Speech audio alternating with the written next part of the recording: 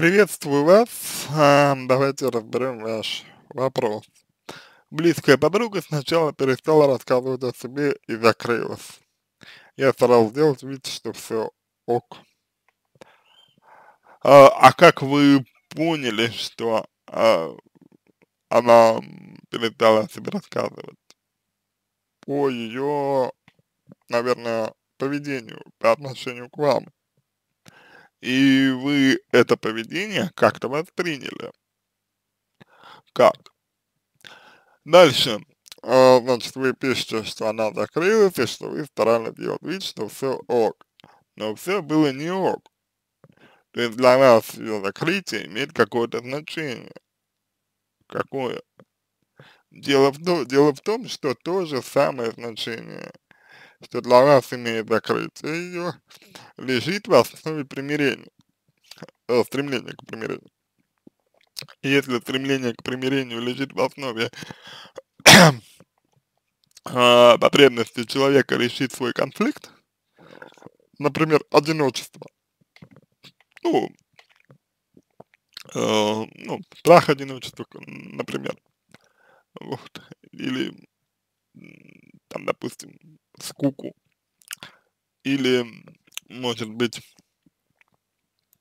обесценивание какое-то себя, да, вот, то примирение является не примирением, а занижением себя. То есть э, отношения перестают быть на равных, а значит другой человек либо почувствует, что вас можно использовать, или другой человек почувствует, что ему не нравится, что это прошение. А, я старался сделать вид, что все ок. Зачем? Как будто бы из страха. Чувствовала, что она сводит наши отношения в сторону просто приятельства и знакомства. Ну, это ее право так делать, кто знает, может быть, у нее изменились приоритеты, интересы, это нормально. А, насколько независимы от нее вы, она мне дорога. А как это проявляется? Ну, то есть, буквально в чем выражается то, что она вам дорога. Понимаете, обычно, когда говорят, что человек дорог, подразумевается заинтересованность в его развитии, в его комфорте, в его счастье. Если подруга от вас закрыва, закрывается и, как вы говорите, сводит отношения на уровне приятельства, значит, ей так лучше. И по идее, коли она вам дорога, и, и для нее так лучше, вам бы это нужно принять но вы воспринимаете это как то, что я чем-то обидел, я что-то сделал не так. То есть вы себя обесцениваете. И именно это проблема, чтобы не чувствовать себя обесцененным. Вы пытаетесь, судя по всему, решить. Зная, как воспринят разговор про выяснение отношений, долгое время откладывал. А как она воспри... воспринимает разговор об, э, ну, разговор как выяснение отношений? То есть ей это не нравится, она это не любит, да, получается. А за время моего наблюдения над ситуацией лучше не стало. Ну, я полагаю, это связано с тем, что вы просто ждали, вы просто ждали, что что-то что само по себе образуется, да, вот. При этом не переключили свое внимание на что-то другое, не показали подруге, что, ну, как бы принимаете ее точку зрения. Ну, вот так, значит, так написала. Попыталась поговорить, начала именно с того, что переживаю, что, возможно, чем-то обидела, перешла личные границы, что замечаю охлаждение давно. Понимаете, а здесь это все про вас, не про нее. То есть, по сути, вы говорите, что, дорогая, мне некомфортно с тобой. И чтобы мне было комфортно, давай меняйся возвра возвращай э, все как было, понимаете? И опять же, это, а, значит, э, человека либо, либо отталкивает, вот, либо вызывает желание вами манипулировать. Так, дальше.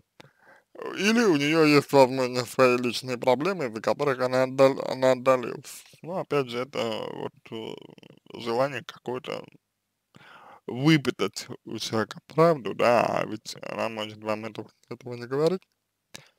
Она приняла разговор в штыки, не признала проблему, ну, вероятно, потому что проблема есть только для вас.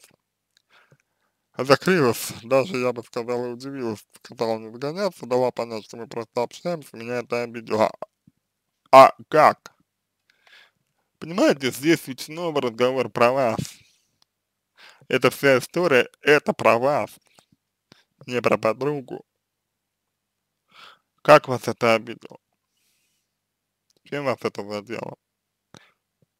Ранее мы были действительно очень близки, в чем, э, в чем не было сомнений. Не было сомнений у кого? У вас или у нее? Все меняется, люди могут быть близки, потом они могут отдаляться.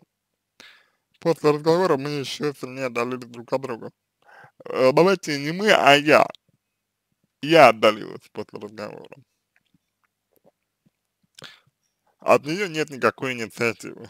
Ну, опять же, человек не хочет. Себе я видела ошибки в нашем прежнем общении. Например, я чрезмерно э, погрузилась в нее, старалась во всем помочь, участвовать, демонстрировала преданность и заинтересованность, но без навязывания. Это могло оттолкнуть, наверное.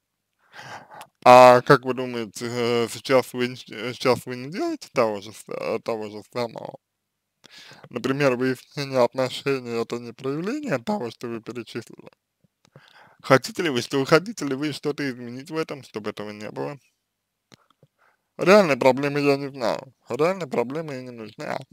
Важно, что человек, не, человек хочет, э, чтобы ему было комфортно. Вы стараетесь его переделать. Я бы хотел восстановить с ней отношения. Почему вы думаете, что те отношения, которые у вас с ней сейчас были до, до разговора, это не отношения? Вам нужен определенный вид отношений, чтобы чувствовать себя, вероятно, нужной, важной и значимой. Подруга чувствует, что вы подпитываете от нее, и это не нравится. Стоит ли мне отправить ей сообщение, в котором сказать о том, что признаю за собой вину? Это ничего не даст лучше не общаться какое-то время. Да, это, это лучше. Как вести себя, я не знаю, свой человек мне дорог. Ну, я это разобрал. Получается, со всеми нужно расходиться и не принимать попыток к примирению. Вы здесь делаете классическую ошибку, вы обобщаете. А каждый случай, каждый случай рассматривается отдельно, индивидуально. Дело в том, что примирение зависит от другого человека, не только от вас. Сейчас вы говорите об этом, какую, какую мне подобрать модель поведения, чтобы сто процентов она со мной захотела помирить. Такого нет. На этом все. Я надеюсь, что помог вам. Буду благодарен за обратную связь по моему ответу. Это позволит вам начать над собой работу. Я желаю вам всего самого доброго.